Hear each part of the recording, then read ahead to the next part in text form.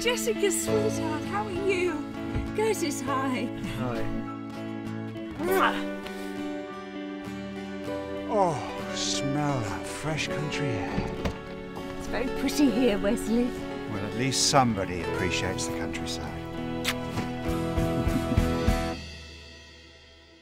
Anyone heard the tale of the boy with the melted face? People say he's still out there. Still roaming the hills, desperate to avenge his massacred family. Hello? I don't think anybody's home, Wesley. This place is deserted.